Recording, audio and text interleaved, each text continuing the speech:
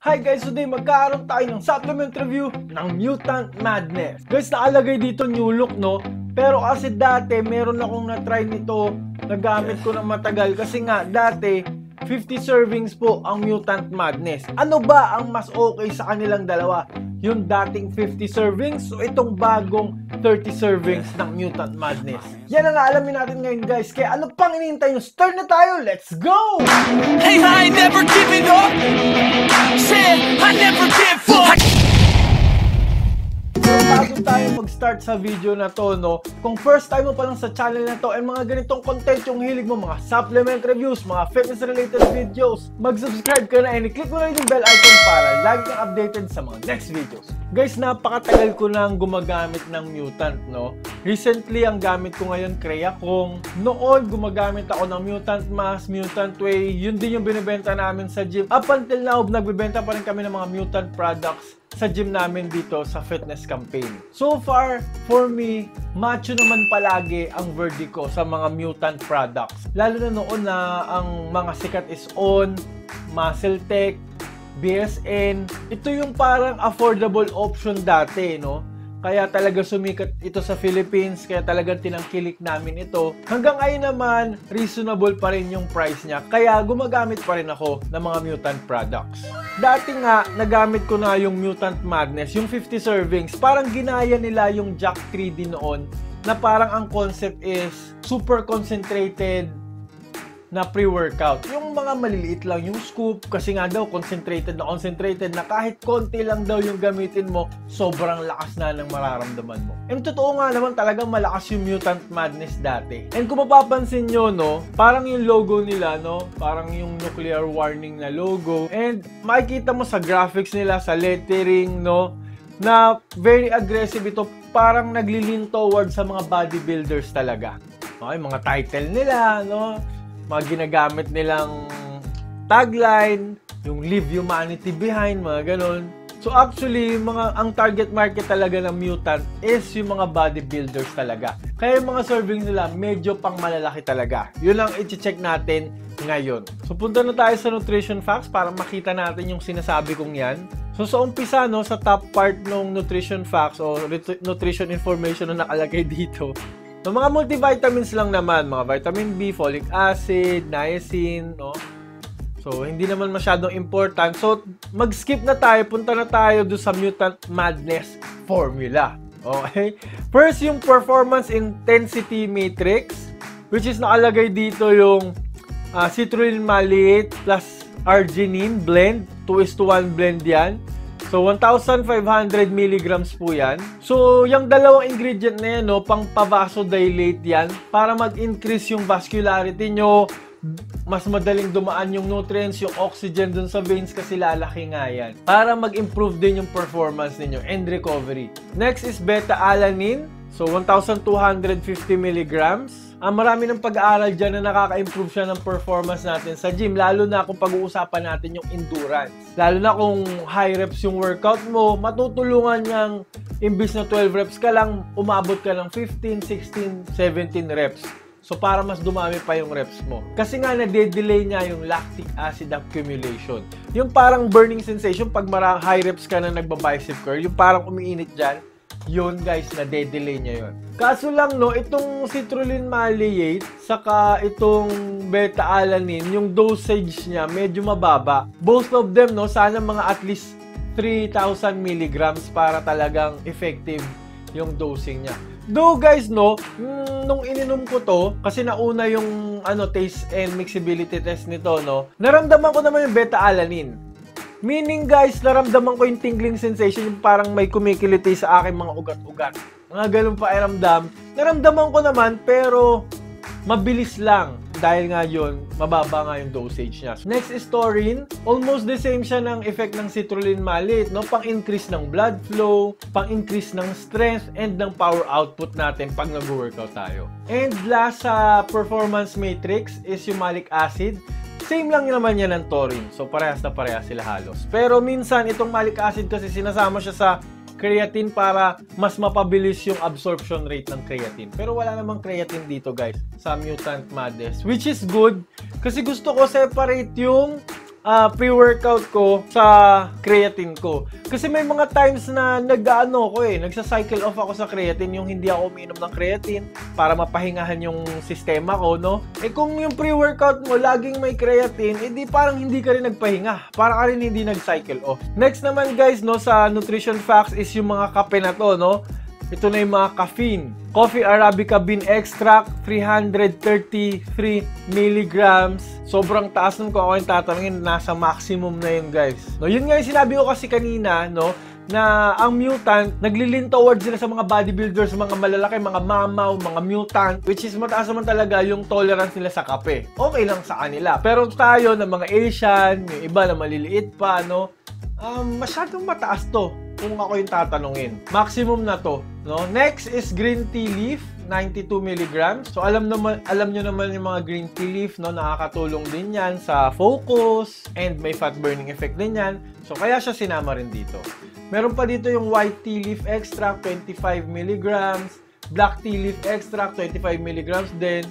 Green coffee bean extract 25 milligrams. So ang total nga talaga guys ng ano nito no, yung caffeine nakalagay dito, total caffeine is 330 milligrams per serving which is yun nga, napakataas. So, masasuggest ko, siguro kalahati muna, i-check nyo muna yung katawan nyo kung kaya nyo yung full serving nito. Pero kung first time nyo mag-take nito, and hindi kayo masyadong makape, or hindi rin kayo umiinom lagi ng pre-workout, first time nyo mag-pre-workout, huwag kayong iinom ng one serving nito. Kaya nga guys, no, ah, sa sobrang taas ng caffeine nito, Tinay ko to ng ano eh, one serving. Medyo may crush akong nararamdaman sa pagkatapos ng workout ko. Ay. Kinilig ako bigla, nagkakaroon ako ng crush. Anong magagawa? Laging natutulala Tuwing lumalapit Ano kaya to eh? Hindi, joke lang guys, no?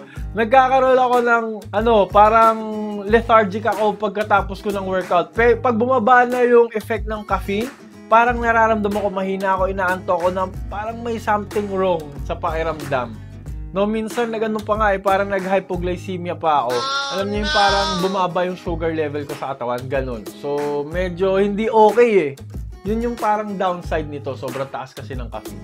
Next na ingredients is amplification matrix. Next is theanine, 30 mg. So, itong theanine guys, kung naalala nyo, sinasabi ko to sa psychotic, sa Total War, mga pre-workout. Sikat siyang ginagamit ngayon kasi parang pampagod mo dito eh. Parang nasa mood ka mag-workout, masaya ka pupunta ka sa gym, ready to go ka talaga, parang positive yung ano mo, yung pakiramdam mo, parang ganun. Olive leaf extract, ito guys, no, more on fat burner ito. Next is cinnamon, almost the same din nung ano, olive leaf extract. Same sila, no, na na-optimize nila yung glucose metabolism ng katawan. No, yung paggamit natin ng glucose as a source of energy. And itong cinnamon, na-improve din ito yung recovery. Medyo napapababa niya kasi yung inflammation sa katawan. Next is Bioperine Black Pepper Extract. Sikat na sikat nito no, sa mga pre-workout these days. Parang yung pre-workout supplement mo talagang na-absorb mong maayos. Kaya nilalagay ito. For absorption ito guys. Itong Black Pepper Extract. So yun, tapos na tayo dito sa nutrition facts. Almost the same lang naman din yung nasa ingredients guys, kaya hindi ko na sasabihin lahat. Uh, except yung ingredients, meron itong MCT oil, no? Good fat po 'yan, sinama nila.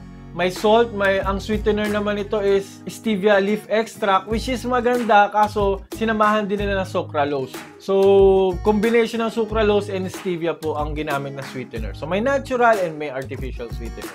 So, mga zero calorie sweeteners po yan, so goods yan. So guys, tapos na tayo sa nutrition facts and sa ingredients. Punta na tayo sa taste and mixability test. Let's go! Taste and mixability test natin yung Madness, yung Mutant Madness. Fruit punch flavor po. Maganda yung packaging niya, no? mukhang sealed na sealed naman to. Guys, favorite ko ang fruit punch na flavor pag sa pre-workout or sa BCAA. Parang medyo... Ah, hindi, sakto lang naman yung laki. No? So, meron akong 250 ml of water. Doon ko po ito ihahalo. So, punong-puno po yan. Usually, mabilis naman mahalo yung Mutant Madness eh. No, dati, na-try ko na siya. So, pagpasensyaan nyo na yung lighting dito sa sa gym medyo mahina ngayon. Eh. Nasira yung bombilya namin. So yun na. Hmm, mabango siya. Ah, masarap. Hindi ko nalalasaan masyado yung caffeine, na mamask niya yung caffeine na taste, walang pait. Hindi siya masyado matamis, sakto lang yung tamis. So yung mga taong ayaw ng matamis na pre-workout, sakto to sa inyo. Parang meron siyang pepper. Ah, merong black pepper.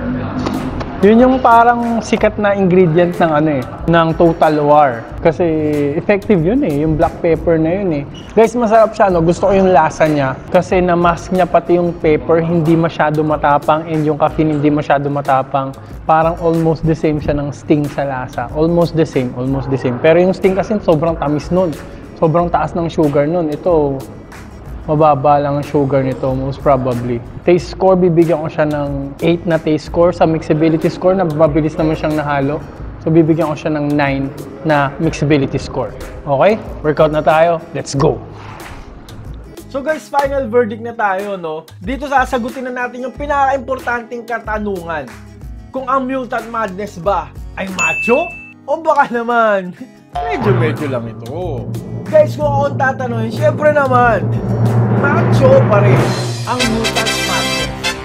Pero bakit ko sinabing pa rin? Parang hindi 100%, no? Kasi nga guys, um, isang downside nito for me is mataas masyado yung caffeine, no? And low yung dose niya nung mga gusto kong matataas na ingredients katulad nung katulad nung beta-alanine and yung L-citrulline maleate. So sana tinaas nila yung mga dosage noon and binaba naman nila yung caffeine. Pero magagawa ng paraan naman yun para hindi kayo mag-crush nga kasi later on ginawa ko hindi ko na finu-full yung scoop, no? Yung serving, hindi ko na siya sinusunod, yung one serving nito.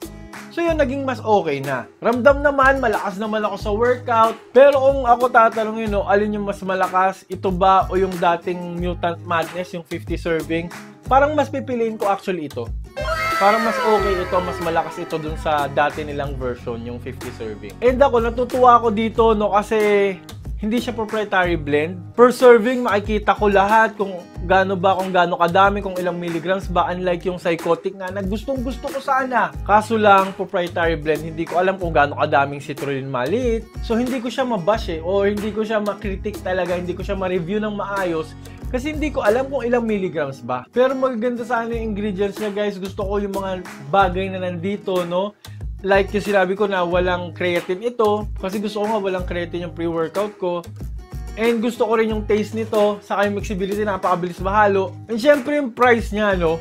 No papakita ko dyan yung price nandiyan sa baba guys. I-click nyo lang yan dyan sa description box. Mutant Philippines po yan mismo ang seller niyan.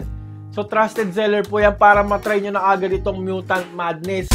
Guys maglalagay din ako dito ng mga videos mga pre-workout supplements po yan na pwede nyong i-check out para makapili kayo ng magandang pre-workout supplement para sa inyo. So guys, maraming salamat sa panonood. Mag-ingat kayo kung nasan man kayo ngayon. Always wear your mask, face shield, and always, always drink your protein. Bye!